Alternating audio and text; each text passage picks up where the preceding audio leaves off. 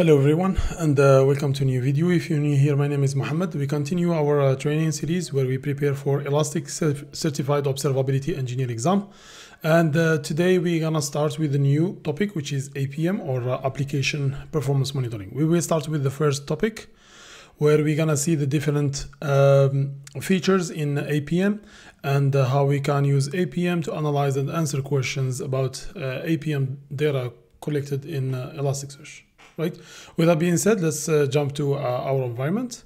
So the first thing that I want to, uh, to highlight or mention here, as you can see, the first topic is how to use APM. Mean they will not ask you to deploy uh, APM agent or APM server.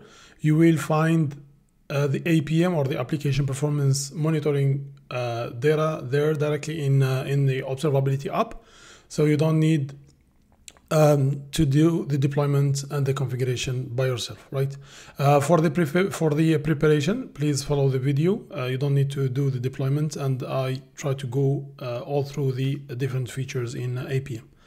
Let's jump to our environment, but or uh, before, let's see uh, in the documentation. Uh, another, like I keep repeating, during the exam, you will get an access to the official documentation of Elastic.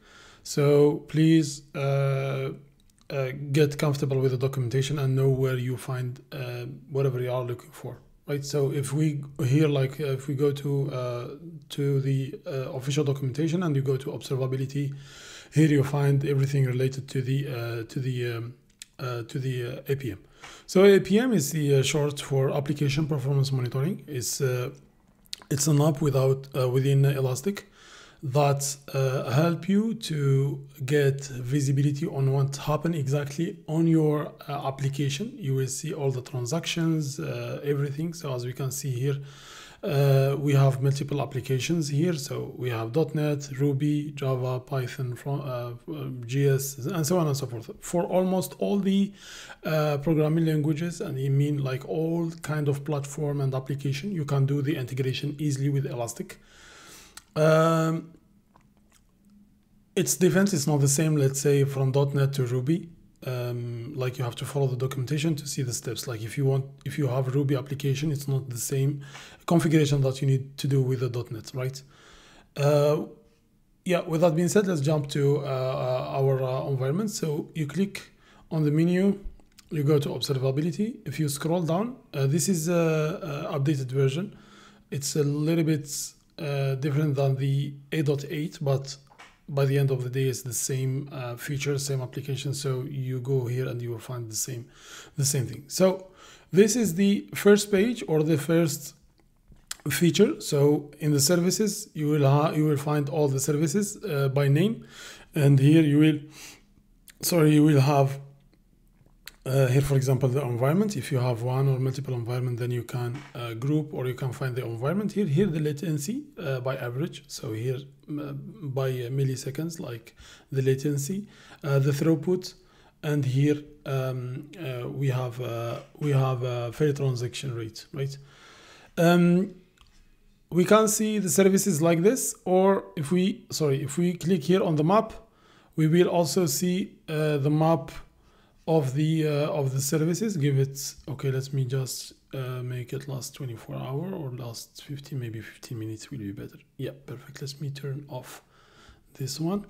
Perfect. So here uh, as you can see this is the the map of our service. So we have JS in the uh, in the front end. Uh, we have um, we have Java as you can see we have Elasticsearch we have Ruby or Redis sorry we have .NET, like multiple applications here.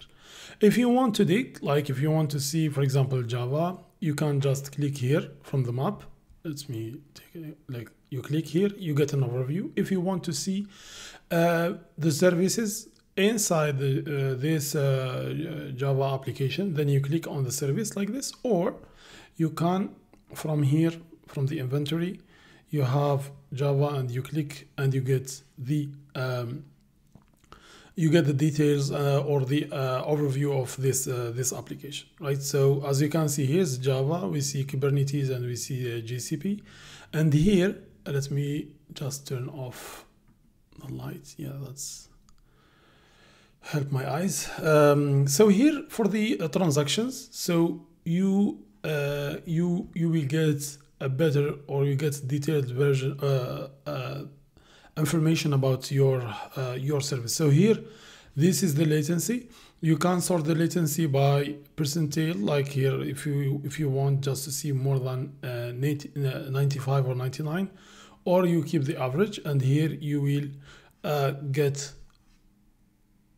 uh, you you will get um, an overview. Uh, here the throughput is the same. Here the transactions we will go in uh, details. We can see the transactions from here or we click uh, from here to redirect us to uh, to to here. Uh, this is uh, the failed rate. So as you can see here we have almost zero percent mean uh, it's it's doing good. There is few errors that we can see from here on the right. So we have error. If you want to expand like to see the error like you can click and it will redirect us to the uh, to the error, but let's stay with the, with the overview. We will go uh, on uh, uh, one by one. So we have time spent by span, by span type, right? So we have app, we have custom, and here is the percentage. And here also we have uh, depend, uh, dependencies. So it's the same uh, from here, the dependencies. And here um, the instance la la latency distribution. So here also you will get an overview. And finally, you have also uh, the uh, instance, right? So here we have one instance. If we have multiple, then we're gonna we're gonna see multiple instances, and also it's clickable. So if you click, it will redirect us to the matrix of this uh, of this instance, which is here is uh, JVM or Java Virtual Machine. We will get the matrix Let's um, now. Okay, that's uh, that's clear. It's the same. Let's return back. So if we choose another uh, another um, another app. Let's go for example here python or let's let's pick something else. Let's go with uh, where is uh, one second. I will go maybe with the front end. Yeah here we go. Here you have transactions. Here you have the errors and the rates. You have all the um, uh, all the thing like you want to see. And for sure you can uh, you can um, create rules or uh, generate alerts based on the uh, values that you have for latency for example or error or whatever. So it's something like uh, let's say doable. Let's go back to our application. So we want here. So let's go now to the uh, transaction. So we can see here a shortcut for transactions. So here we have some details, but let's say you want to see more detail about this transaction. So even you go here, transactions, and you get, or, or the same, you come from here and you click on view transactions, it will redirect to the same page. And here the same, if you want the sorts by the, by the average or uh, more than 95 or 99.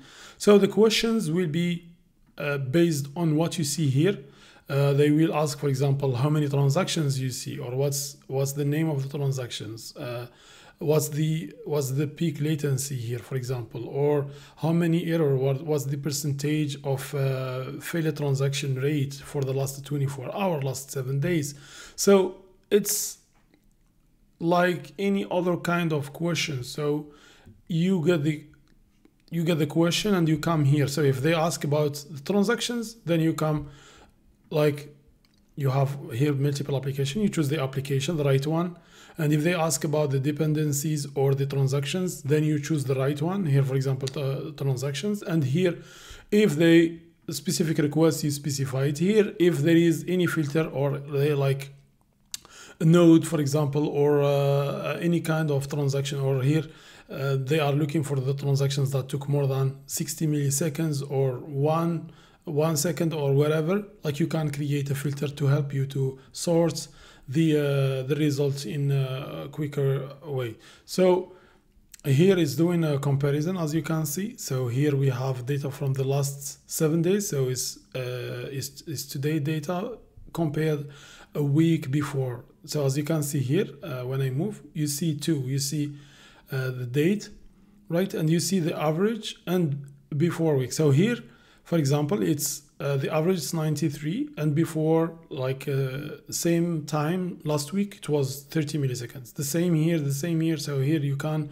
compare it's can like you can get an, a, a, question about this point like what's the what's the average this week or this date comparing with uh, the same time last week or last two weeks or you can easily pick the question or the answer from here right uh, here the transactions which is uh, uh, like if we can if we want to uh, go more or get more details like here we get the uh, the uh, transaction.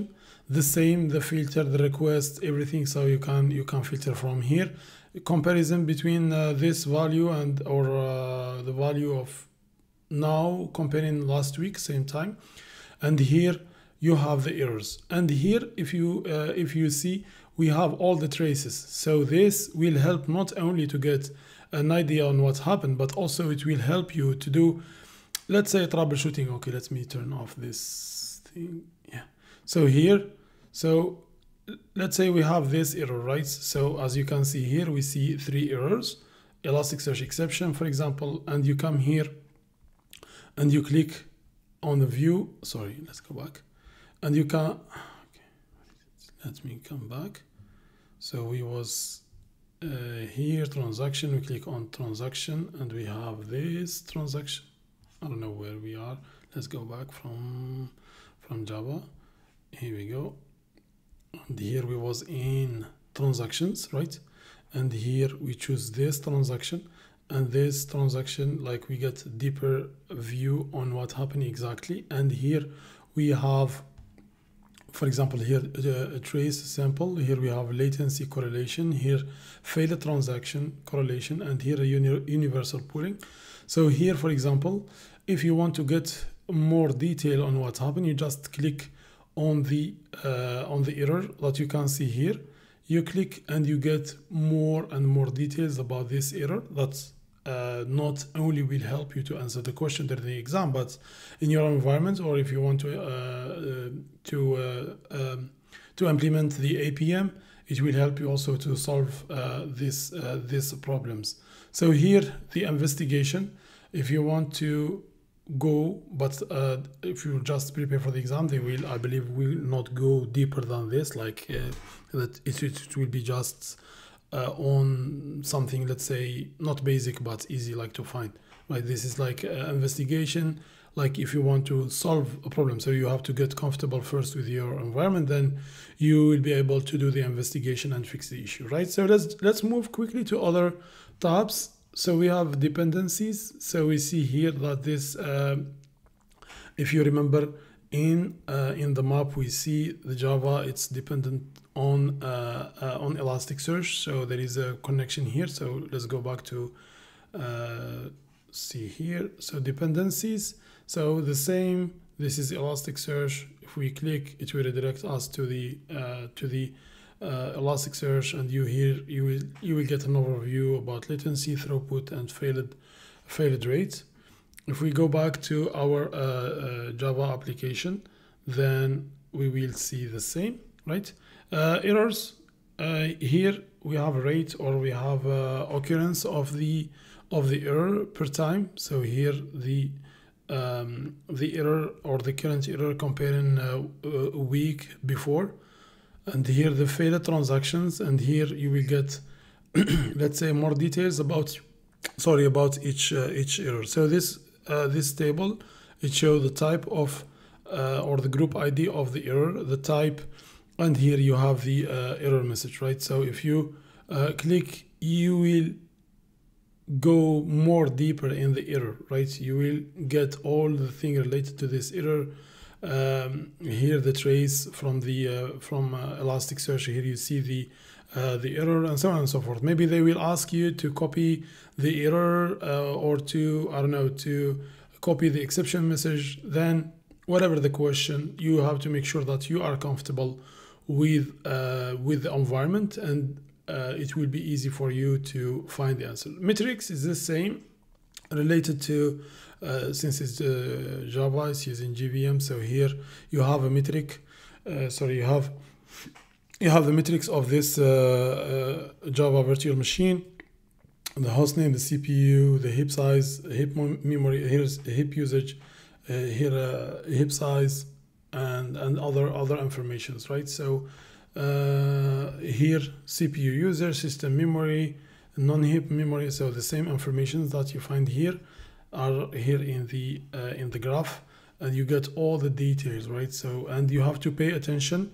uh, for uh, for the time. If they ask for specific date then you have to filter based on this specific filter or a time range and also service and so on and so forth. I, like you uh, process id you can uh, filter the uh, services or the metric or the JVMs like you can create any uh, any filter here right?